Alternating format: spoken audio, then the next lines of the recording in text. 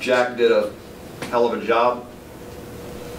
You know, something about that young man that he's kind of got the, little bit of the it factor.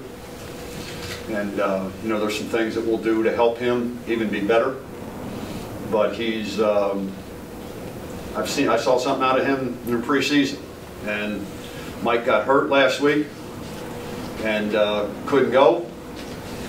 And I just made, I talked with the offensive coaches, but Sunday we went to practice and I saw something and I just said, this is the way we're going to go. And uh, he, there is no quarterback controversy. He's our quarterback. Um, moving forward, I, you know, I don't know. I've, I've been around the game for 40 years, you know, coaching it.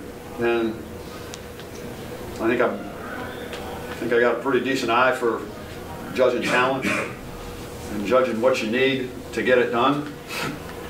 It's just something I've seen out of the kid, just how he handles himself, how he goes out and plays, got a strong arm, you know, I don't want to say it, I mean, he's like one of the boys, you know, give me a Molson's, let's go have a drink and sit down with the offensive lineman and, you know, I mean, he's just, there's just something, Uh, you just see it. You, when you're in our positions, you just see it and you feel it. And, you know, I just, I, you know, I, I talked with the offensive coaches, but I went with my gut, you know, because I felt, what's up, buddy? Love you, man. Um, just, um, he's got something. And, you know, like I said, he'll get better. He's not, he was, you could see, he was, those, those turnovers that he had, I mean, you know, he'll learn from them. He'll learn from them, you know, and just take what they give you. But I thought he, I thought he handled, a, handled himself really, really well.